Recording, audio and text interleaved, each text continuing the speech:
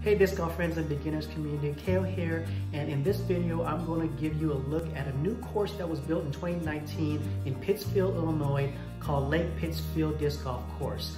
Um, they had their grand opening tournament, non-sanctioned tournament on October 26, 2019. So let's begin. Lake Pittsfield is an 18-hole course that is open to the public year-round on a beautiful, huge lake, and if you're a fisher and a camper, you can do that as well. Currently, there are two tee pads for each hole, a white and a blue. White being the shorter area and blues for the longer areas.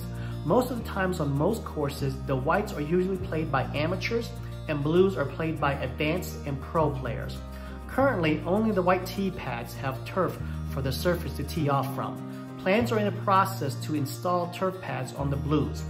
In addition to having two tee pads, there are also two pin or basket locations an A and a B, and as you can see in the pictures in each uh, hole. The A is typically your shorter pin location, and the B is your longer pin uh, placements.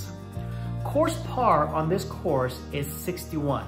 Uh, there are seven holes that are labeled as par fours. So holes 3, 7, 9, 10, 11, 17, and 18 are your par fours. And this is due to the distance and the complexity of the shot you have to shape off the tree, off the tee.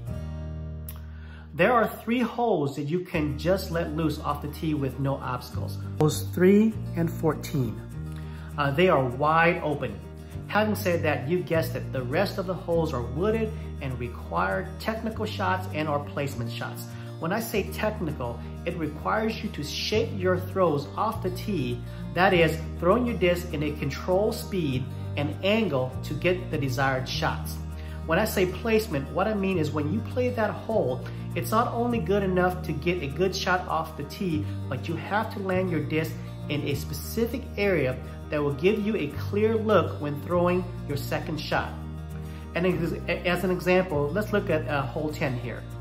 As you can see, you need to not only throw a straight shot, but also when that shot lands, you need to land it to the right side so that you can have a clean look at the basket. As you can see, going early left or right, you will find trouble and won't have a look at the basket, thus having a score anywhere from a four to five and on up. Now having played the course uh, in, in, three times now. Uh, once in, in a tournament play and the other uh, just casually and trying to figure out the course. I really like the, the course. It, it has really nice flow. Um, the only flow that, the only constructive criticism that I would have right now as far as flow is concerned is on holes 14 and 15. So after you throw 14, you have to cross over on hole 13 to get to 15. That is my only constructive criticism, criticism on the course. Um, but other than that, it, I think it's a fair course for uh, beginners and for advanced and pro players. And the reason I, I, I think that is, you know, for, for beginners, it's a course that you don't need a whole lot of distance on. However, it's going to help you with controlling your and shaping your shots and it's controlled shots. It's not, you know, distance. So you're gonna throw, throwing it a little bit slower and getting the disc to an area and placing it where you can have a look at a birdie or your par.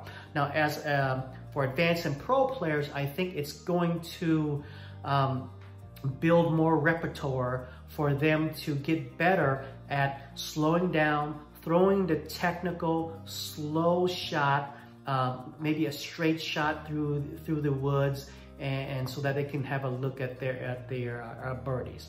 Um, overall, like I said, I, I enjoyed the course. Um, it's definitely um, you know if I'm in the area, I'm going to drive there and, and, play there.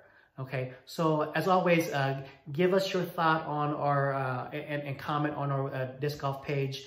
And uh, until next time, I'll see you on the course. See ya.